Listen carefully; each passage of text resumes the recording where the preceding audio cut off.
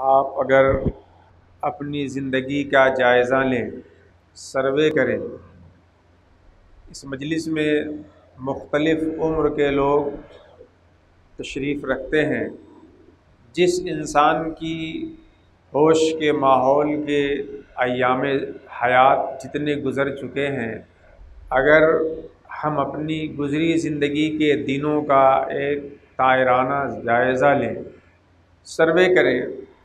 तो ये हकीकत दो दूनी चार से भी ज़्यादा वाज होकर के आपके सामने आएगी कि इंसान अपनी ज़िंदगी में जब किसी चीज़ का इरादा बनाता है, किसी चीज़ की जब उसे चाहत और तमन्ना होती है तो पुख्ता इरादा बनाने के बाद, चाहत पूरी होने के साथ वो उसके लिए तगोदो करता है, कोशिशें करता है, मशक्क़तों को बर्दाश्त करता है मवाने को दूर करता है शराइत को जमा करता है, बहुत दिन रात एक करता है, खून पसीना एक करता है तो दसों इरादों में से कोई एक इरादा उसका मुकम्मल होता है, अंजाम पाता है, दसों तमन्नाओं में से कोई एक तमन्ना तकमील को पहुँचती है।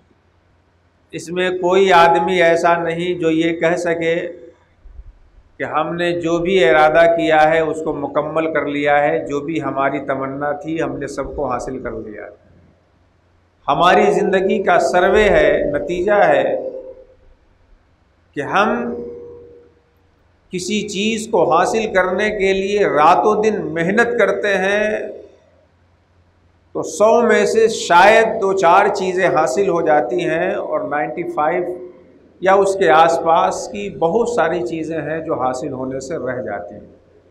अपने से कोशिश भी करते हैं, दूसरों से दुआएँ भी करवाते हैं सोर्स भी इस्तेमाल करते हैं, तब भी ज़्यादातर चीज़ें होती हैं जो नहीं हासिल हो पाती। मेरा आपसे सवाल है कि आप इरादा बनाकर मुराद को नहीं हासिल कर पाते, तमन्ना सीनों में सजाकर अपनी चाह तक नहीं पहुँच पाते दुआएँ कराकर, क़ुवत और इस्तेमाल करके अपने मुराद तक नहीं पहुँच पाते। ये जो ज़िंदगी हमें और आपको मिली है, इसके लिए आपने दुआ की थी किसी कभी ये जो ज़िंदगी हमें और आपको मिली है, इस दुनिया में अल्लाह रब्बुल इज़्ज़त ने जो हमें पैदा फरमाया, इसके लिए हमने कोई कोशिश की थी? अपने दिल से ज़रा पूछिए, सोचिए। कोशिश करते हैं, दुआएँ करते हैं, तब भी मुराद नहीं मिल पाता। यहाँ बग़ैर कोशिश के, बग़ैर दुआ के अल्लाह ने ये ज़िंदगी जैसी अजीम नेमत हमें और आपको अता फरमा कितना बड़ा एहसान अल्लाह रब्बुल इज़्ज़त का अच्छा उसने बनाया, बग़ैर हमारी दुआ के उसने हमें बना दिया। बग़ैर हमारी कोशिश के उसने हमें ये ज़िंदगी दे दी। तो ऐसा नहीं कि उसने जो हमें बनाया बिना हमारी दुआ और कोशिश के तो इस बनाने में उसका कोई फ़ायदा हो। हाशा वो कल। अभी आपके सामने किताब की रूनुमाई हुई तकमीलमान शेख महक़ की। इसमें एक बहस ये भी है कि अल्लाह रब्बुल इज़्ज़त के अफ़ाल मुअल्लल बिल अगराज नहीं। यानी अल्लाह तबारक व ताली किसी भी काम को, किसी गर्ज का मोहताज होकर के नहीं करता कि किसी मकसद के एहतियाज के पस मंज़र में वो किसी फेल को अंजाम देने वाला हो।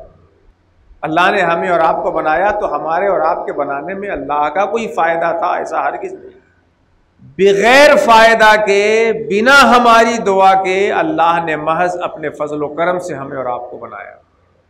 अच्छा उसने बनाया, अदम से वजूद में लाया। तो ज़रा और संजीदगी के साथ समझने की कोशिश कीजिए। जब उसने बनाया हमें और आपको तो बहुत तरह की चीज़ें उसने बनाई। दरख्त बनाया, पत्थर बनाया, चाँद बनाया, सूरज बनाया सांप बिच्छू बनाया, गाय, बैल, भैंस बनाया, चील कौआ बनाया, ज़मीन के कीड़े, हवा के परिंदे, समंदर की मछलियाँ, सबको बनाया उसने। उसने जब आदम से वजूद में हमें और आपको लाया तो सांप बिच्छू नहीं बनाया, गाय, बैल, भैंस नहीं बनाया, चरिंदो परिंद नहीं बनाया, उसने हमें और आपको इंसान बनाया। पहला एहसान तो ये कि बिना दुआ के, बिना किसी मनफात के हमें अदम से वजूद में लाया और लाया तो ऐसी मखलूक बनाया जो मखलूक उसकी तख्लीक का शाहकार है। इंसान बनाया। कितना एहसान अल्लाह रब्बुल फिर उसने इंसान बनाया। तो इंसान बनाने के बाद तीसरा एहसान पे एहसान उसका ये हुआ कि उस नबी की उम्मत में पैदा फरमाया, जिसकी उम्मत में पैदा होने की तमन्ना अम्बिया किया करते मोहम्मद रसूलुल्लाह की उम्मत में पैदा फरमाया।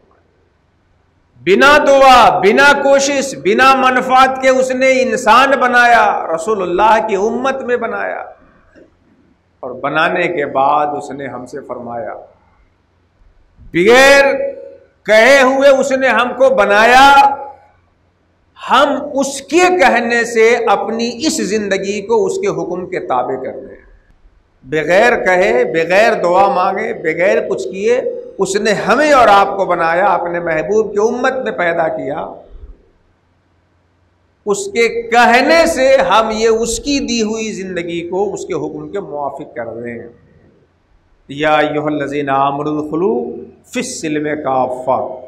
ईमान वालों, इस्लाम में, दीन इस्लाम में मुकम्मल तौर पे दाखिल हो जाओ।